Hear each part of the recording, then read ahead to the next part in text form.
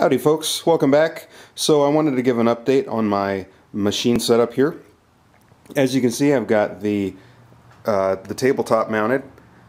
So my, my brand new tabletop is all screwed down so the next part would be to uh, surface this tabletop but before I can do that I need to tram my, uh, my cutting head there.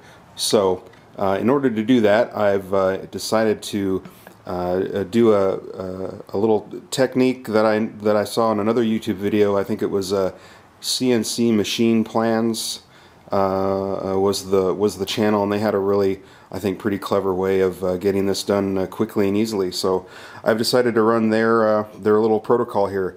so the first thing I did is I went and found a piece of glass.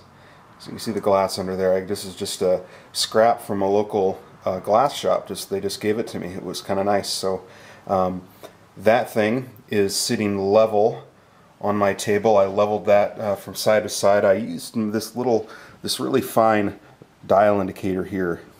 So uh, this one only, I think it's uh, every it's in 10 ten thousandths or something like that. So uh, I could see I actually noticed when I was going from one side of the glass to the other, I could see the deflection in the middle uh, when I had it supported by these little standoffs on the end. So those are just pieces of a uh, receipt which I cut up. Which are, the paper's really thin, it's only 2000, so I got that pretty pretty darn level. So you can see once the uh, when the table gets surfaced, I'll be, you know, it's this is why you have to surface your table because you can see there's nothing on that corner for a support. I think there's one there. There's a big stack of them on that corner and then a few less on that one. So every, everyone's different. So that, but that glass is now level.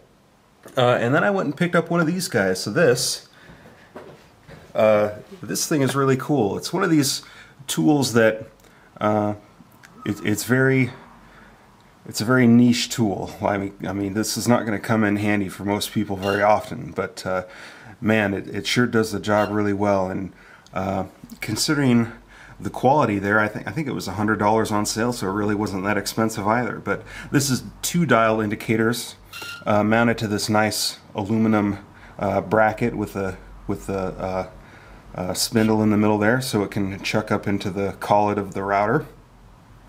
And uh, once this thing was calibrated, I did have to calibrate it out of the box. It was not perfect when I started. So basically just uh, uh, once it's calibrated you can turn it you know front to back there and then uh, and then make your make your adjustments to the uh, to the to the z-axis in that direction and then turn it that way and then uh, make your adjustments in in that direction. So I've already done that a little bit. I didn't do anything to this uh, uh, to this one and it's a few thousandths off. You can see it's maybe uh, reading at about 38 on that one, maybe 41 on that one. So you're talking three thousandths of an inch or so across. They're five inches apart. So uh, I think that's going to be good enough for me. The big one though was this front to back. So now those are about, that one's at about 39 and that one's at 40. So 39 and 40, probably hard to see on the video, but uh, it was quite far off to, to begin with. I actually had to shim it out, so I had to put shims down between this plate and this bearing block. Uh, there's none on the top up there, but I had to put 30 thousandths worth of shim down there. Luckily, I had a little chunk of shim stock and I was able to cut it up and uh, um, uh, I think it was a 10,000 stock and I and I uh, got it uh, stuffed in there. So it's uh, now it's it's very very close. Hard to imagine that this I mean there's no reason to think that it wasn't this far off the whole time I was using it. And I I noticed that some of the parts that I cut had uh, a little bit of a ridge um, uh, where you could see the you know the the the tool depth or so. You'd see a little bit of a lip. Not much but just a little bit, not so much that you couldn't sand it off quite easily. Uh, so pretty astounding that it was that far off. Now that's, it, it's 30 thousandths. Well, it was, when I started here, this was, this measured about 20 thousandths. And then, but I had to put 30 thousandths here because this distance here is wider. This is about 8 inches versus the 5 inches down here.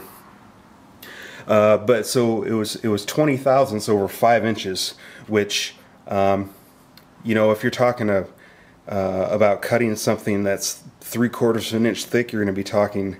Uh, oh gosh, what is that?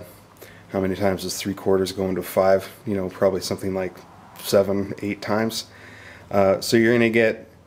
Uh, uh, well, I can't do quite do the math on my on the on the fly like that, but you can see that uh, it's it's going to be a pretty significant difference.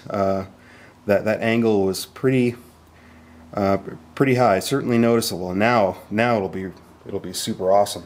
Um, that tool actually came in this nifty little case here, so uh, for a hundred bucks, not bad. So anyway, that's all for now. Uh, gonna keep on uh, keep on going here. I still don't have all my power out here in the in the shop, but uh, I'll be ready to go once it does arrive. All right, thanks.